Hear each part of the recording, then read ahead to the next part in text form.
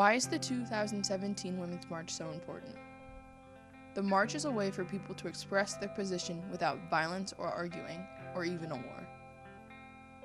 To show children that people can fight for what they believe in and not just deal with it. To be their own person and not let others control them. To become equals, no matter what race, gender, or ethnicity you are.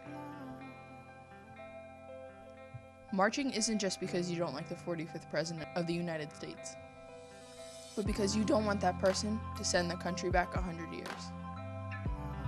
Because you see racism as an issue, and you want your children to live in a world where everyone is treated equally. Because you don't want any more people killed by semi automatic guns, bought by someone that should have had a better background check. Because climate change is real and needs to be prevented in order to save the rest of the world.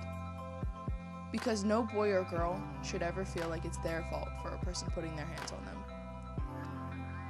Because every person should feel safe in their skin, being who they are, no matter what their sexual preference, identity, race, or gender. Because we want a world of love and not hate. These are the faces of the people who march for a reason.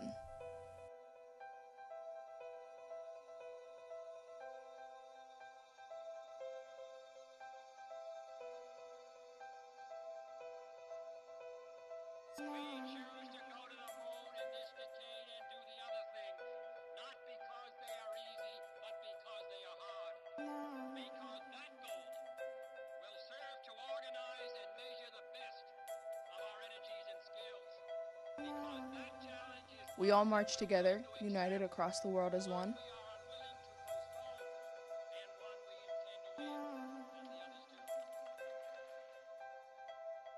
This is why we march. Freedom!